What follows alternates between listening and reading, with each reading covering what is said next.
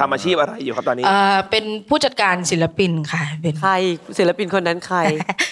เพียวค่ะ เพียวเดอะวอยซ์ค่ะ เป็นพี่ชายอ๋อเป็นพี่ของเพียวเหรอครับอ๋อเป็นเป็นเป็นเป็นหนูเป็นน้องน้องหนูหนูเป็นหนูเป็นน้องสาวค่ะเป็นน้องสาวของใช่เพียวเป็นงงเป็นกล้องเลยงงสาวเป็นพี่ชายงงไปหมดแล้ว เพียว The Voice ที่เป็นพี่เพียวเป็นพี่ชายพี่คิมใช่ค่ะทีมแม่เลยค่ะคือเคยเจอแต่มันก็จะนั่งเงียบๆแล้วเราก็ไม่เคยรู้ว่ามันเป็นนักร้องหรืออะไร ก็มาเงียบๆแต่มันพูดไม่ค่อยรู้เรื่องอ๋อมีคนมาบ่นมีคนมาบ่นรับงาน รับงานให้เพียว ไอคนนั้นมาบ่นบอกว่าผู้จัดการเพียวนี่พูดไม่ค่อยรู้เรื่องนะ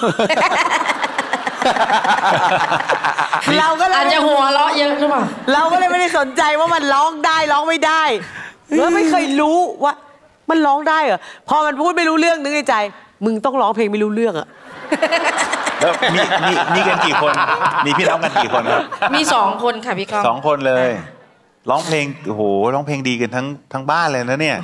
ก่อนหน้านี้หนูร้องเพลงอยู่กลางคืนอยู่ร้อยเอ็ดค่ะอ๋อใช่ค่ะ แล้วก็พี่เพียวบอกว่าตอนนั้นตอนได้แชมป์พอดีก็ว่าขึ้นมาซอยไอ้ายทำไมไอ้ายบ่มี ไม่มีคนช่วยแล้ว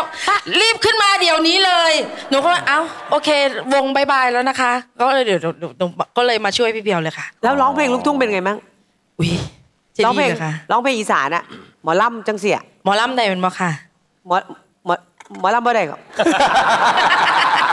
เสียงหัวเราะมึงไม่น่าเชื่อถือที่สุดเลยไอ้สาวชอบพี่ขออัดเสียงหัวเราะเป็นเสียงรอสายได้ไหมได้เลยค่ะนี่ หัวล้อกับโอ๊ตนี่จะเข้ากันมาก